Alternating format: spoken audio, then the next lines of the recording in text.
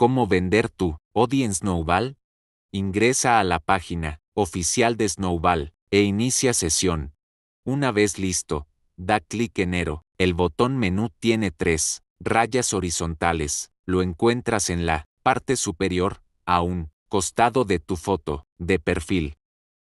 Después, busca la sección Snowball Market, da clic en ella. Luego, da clic en Ero, Vender ODI. Se te redireccionará a una nueva ventana, en la cual se te dará una bienvenida y una explicación resumida de las implicaciones legales y acciones alto. Seguir para endosar las ODIs que pongas a la venta. Ingresa los archivos que componen tu era, firma y firma con éxito el documento.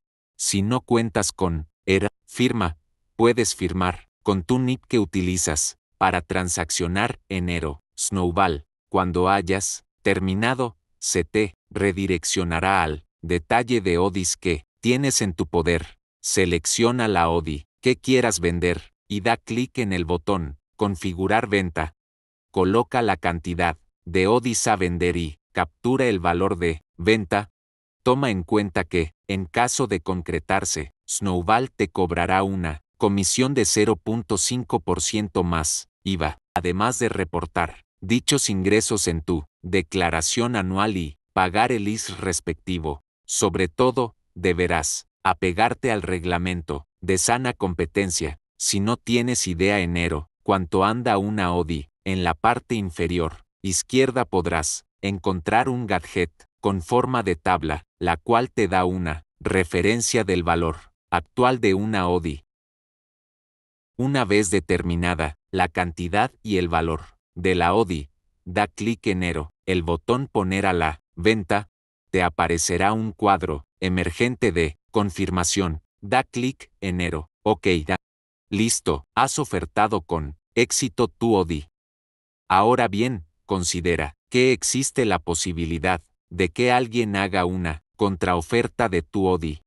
Cuando exista esta contraoferta, Snowball te notificará vía correo electrónico, el cual deberás responder de inmediato. Siéndote sincero, alto, pesar de que existe comunidad, no hay gran demanda en el mercado secundario de Snowball, y la poca demanda que quiera contraofertar te va a ofrecer un valor inferior al actual, ocasionando que llegues a tener una pérdida.